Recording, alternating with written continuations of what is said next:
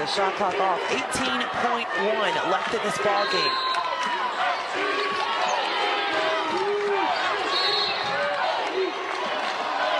And a foul right there on Guthrie, it looks like.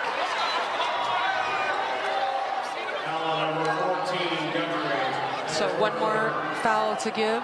Falls on the baseline, baseline out of bounds.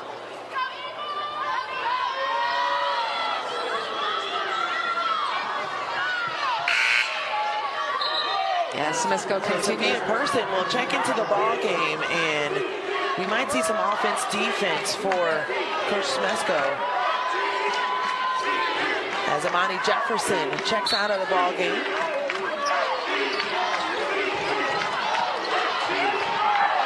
A very long possession underneath.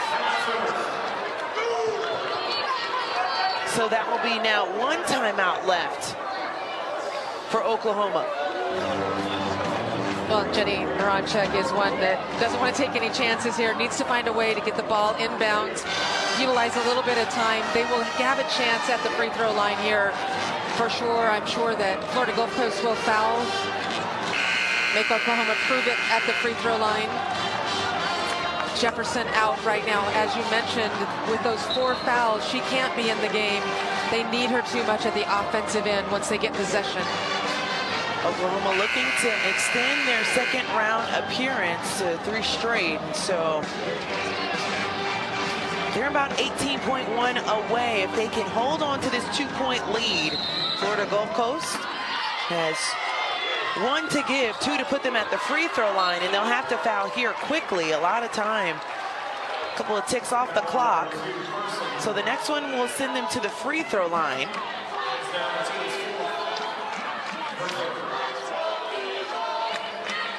So Persons with the third.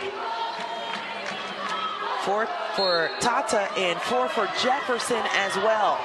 Vann gets the ball and you can see Guthrie trying to reach in for the foul on Vann. And she'll step up to the free throw line, shot 77% from the charity stripe on the season. And Vann three for four today. Tahira Williams checks in the ball game. We'll send Aubrey Joens to the bench.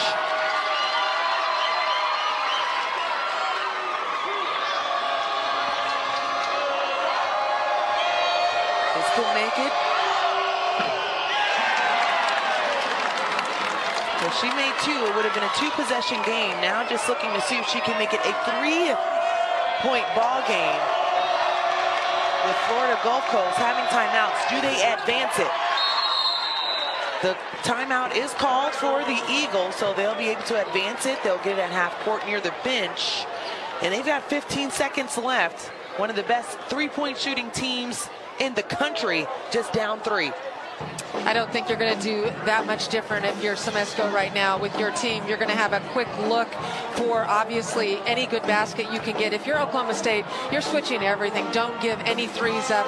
Switch immediately. You might give a layup up, and this game will then be again extended with a quick foul by Florida Gulf Coast. Biggest thing right now if you're Oklahoma, though, is you do not want to give up a three. They have four players on their roster, the Eagles, that have hit two or more threes in this ball game. In your opinion, everyone has the hot hand, but who do you go to down the stretch? Well, I, I, think whoever is open, because all of them can shoot the basketball if you're looking for a three. Uh, again,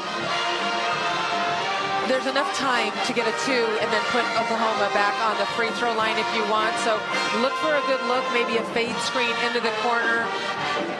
Shooting. The clock will be adjusted to 15.8 on the game clock.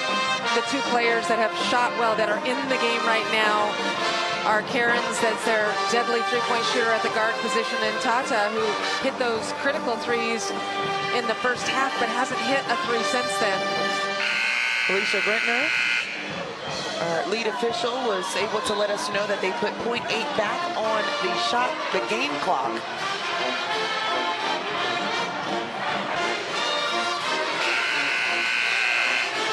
Lots of communication going to have to come from the Sooner side defensively.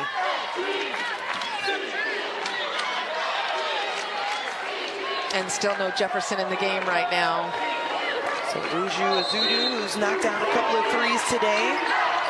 Cairns takes the ball out and finds Sophia Person. Still looking for the three, 10 on the game clock. Bartram with the rock at the top of the key. They've got to let something go. A lot of contact underneath. That's off the fingertips and a jump ball is called. 0.7 left on the game clock and the possession goes to the Eagles. Florida Gulf Coast was looking for a three-point shot. They didn't even take it to the rim right there. As you see Tot with her legs up in the air. Getting a little bit of stretching. Good job by Oklahoma of switching on everything. A good con contest right there. I don't know about that, diving on top of somebody.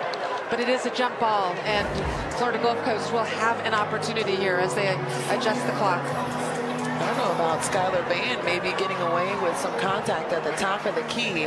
That's what Coach Smesko was worried about and had a conversation with the officials. You, you can see Tot being tended to. Hopefully just a cramp and able to work out. You can see the stretching that the trainers are on the baseline. The clock will be adjusted to one second. Florida Gulf ball on the inline. So one second will be enough for a catch and shoot here. They have 0.1 on the clock yeah, right now, which be... is not right. It is one second on the clock. They Perfect. She's got it handled. Perfect. Alicia Gritner, Doug Knight, and Marla Gearhart on the call for today's game with Florida Gulf Coast and Oklahoma. And Smesko getting a bit of extra time with his team to talk about this out of bounds play as Tot is being tended to on the baseline. Again, five shooters on the floor. Washington not on the, or Jefferson not on the floor because percentage-wise, she's not their best shooter.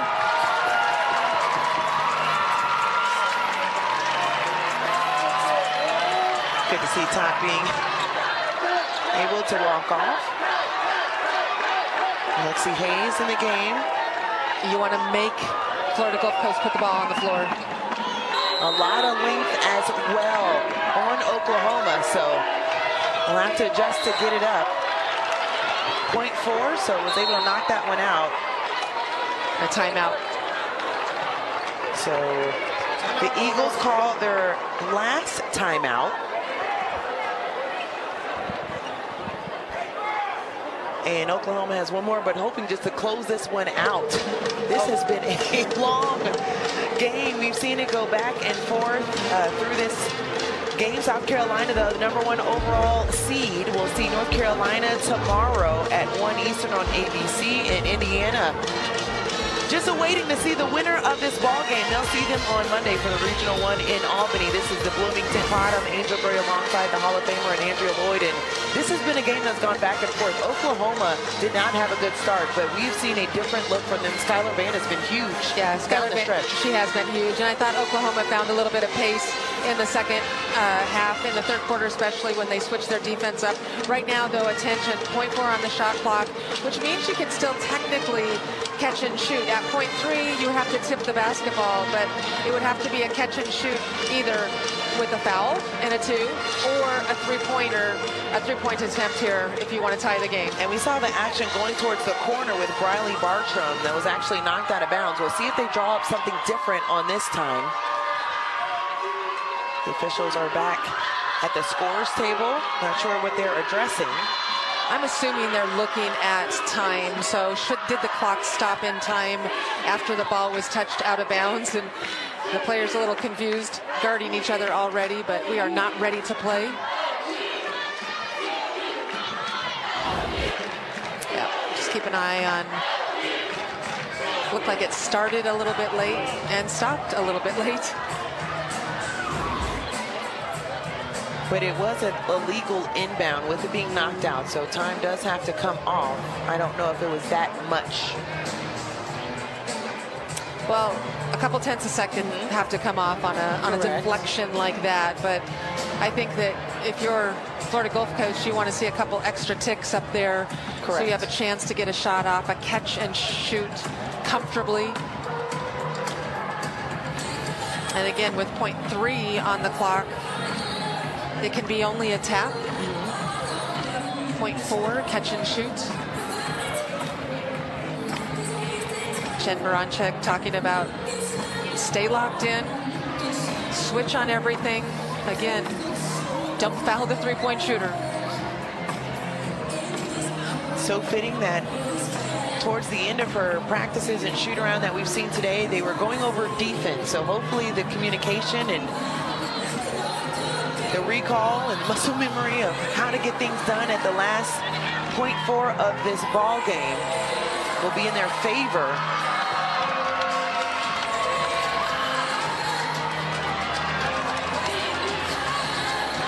Florida Gulf Coast mixing things up in the paint a little bit. We'll see what magic they can create. Out top. Ezeudu just short. Rim. That was a terrific look for Florida Gulf Coast. and Ezeudu totally capable of knocking that shot down.